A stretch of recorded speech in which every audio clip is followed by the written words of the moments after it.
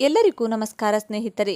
ಕೇಂದ್ರ ಸರ್ಕಾರದ ಮಹತ್ವಾಕಾಂಕ್ಷೆಯ ಯೋಜನೆಯಾದ ಪ್ರಧಾನಮಂತ್ರಿ ಕಿಸಾನ್ ಸಮ್ಮಾನ್ ನಿಧಿ ಯೋಜನೆಯ ಅಡಿಯಲ್ಲಿ ದೇಶದ ಲಕ್ಷಾಂತರ ರೈತರ ಖಾತೆಗೆ ಇದುವರೆಗೂ ಹನ್ನೆರಡರಿಂದ ಹದಿಮೂರು ಕಂತುಗಳನ್ನು ವರ್ಗಾವಣೆ ಮಾಡಲಾಗಿದೆ. ಹೌದು, ಕಿಸಾನ್ ಸಮ್ಮಾನ್ ನಿಧಿ ಯೋಜನೆಯ ಅಡಿಯಲ್ಲಿ ಇಡೀ ದೇಶಾದ್ಯಂತ ಲಕ್ಷಾಂತರ ರೈತರು ತಮ್ಮ ಬ್ಯಾಂಕ್ ಖಾತೆಗೆ ಪ್ರತಿ ಕಂತಿಗೆ ಎರಡು ಸಾವಿರ ರೂಪಾಯಿಯಂತೆ ಆರ್ಥಿಕ ಹಣ ಸಹಾಯಧನವನ್ನು ಪಡೆಯುತ್ತಿದ್ದಾರೆ. ಈ ಯೋಜನೆಯಡಿಯಲ್ಲಿ ಇದುವರೆಗೂ ಎಲ್ಲ ರೈತರಿಗೆ ಹದಿಮೂರನೇ ಕಂತಿನ ಹಣ ಜಮಾವಣೆಯಾಗಿದೆ.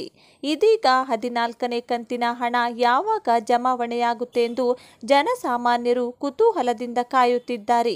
ಈ ನಡುವೆ ಇದೀಗ ಮಾಧ್ಯಮ ವರದಿಗಳ ಪ್ರಕಾರ ಹದಿನಾಲ್ಕನೇ ಕಂತಿನ ಎರಡು ಸಾವಿರ ರೂಪಾಯಿ ಹಣ ಯಾವಾಗ ಜಮಾವಣೆಯಾಗುತ್ತೆ ಹಾಗೂ ಹಣ ಜಮಾವಣೆಯಾಗುವ ಅಂದಾಜು ದಿನಾಂಕ ಏನು ಎನ್ನುವುದರ ಕುರಿತು ಮಾಹಿತಿ ಲಭ್ಯವಾಗಿದೆ.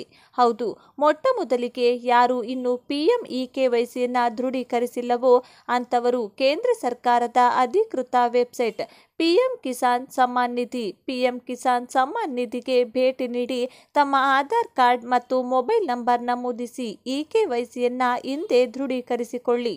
ಹಣ ಯಾವಾಗ ಜಮಾವಣೆಯಾಗುತ್ತೆ? ಮಾಧ್ಯಮ ವರದಿಗಳ ಪ್ರಕಾರ ಇದೇ ಮೇ ತಿಂಗಳ ಅಂತ್ಯದಲ್ಲಿ ಅಥವಾ ಜೂನ್ ತಿಂಗಳಲ್ಲಿ ರೈತರ ಖಾತೆಗೆ ಹದಿನಾಲ್ಕನೆಯ ಕಂತಿನ ಎರಡು ಸಾವಿರ ರೂಪಾಯಿ ಹಣ ಜಮಾವಣೆಯಾಗಲಿದೆ. ಹಾಗಾಗಿ ಆದಷ್ಟು ಈ ಮಾಹಿತಿಯನ್ನು ಪ್ರತಿಯೊಬ್ಬರಿಗೂ ಕೂಡ ಶೇರ್ ಮಾಡಿ ತಿಳಿಸಿ. ಧನ್ಯವಾದಗಳು.